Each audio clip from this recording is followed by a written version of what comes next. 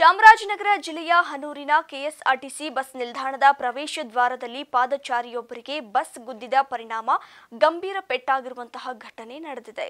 ಹನೂರು ತಾಲೂಕಿನ ಅಜ್ಜಿಪುರ ಗ್ರಾಮದ ರಾಜೇಶ್ ಎಂಬಾತನಿಗೆ ಪೆಟ್ಟಾಗಿದ್ದು, ಈತ ಹನೂರಿಗೆ ಬಂದು ಮತ್ತೆ ತಮ್ಮ ಸ್ವಗ್ರಾಮಕ್ಕೆ ವಾಪಸ್ ತೆರಳಲು ಕೆಎಸ್ಆರ್ಟಿಸಿ ಬಸ್ ನಿಲ್ದಾಣಕ್ಕೆ ಆಗಮಿಸುತ್ತಿದ್ದಾಗ, ಬಸ್ ನಿಲ್ದಾಣದ ಪ್ರವೇಶ ದ್ವಾರದಲ್ಲಿ ಬಂದಂತಹ ಬಸ್ ಏಕಾಏಕಿ ಗುದ್ದಿದ ಪರಿಣಾಮ ಪಾದಾಚಾರಿ ರಾಜೇಶನ ಮುಖಕ್ಕೆ ಪೆಟ್ಟಾಗಿದೆ. ಕೂಡಲೇ ಚಿಕಿತ್ಸೆಗಾಗಿ ಸ್ಥಳೀಯರು ಹನೂರು ಆಸ್ಪತ್ರೆಗೆ ರಾಜೇಶ್ನನ್ನ ದಾಖಲು ಮಾಡಿದ್ದಾರೆ.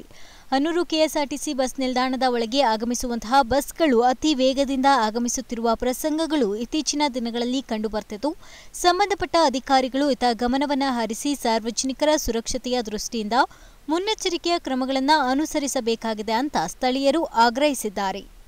ಶಿವಕುಮಾರ್, ಅಮೋಕ್ ಟಿವಿ ಚಾಮರಾಜನಗರ.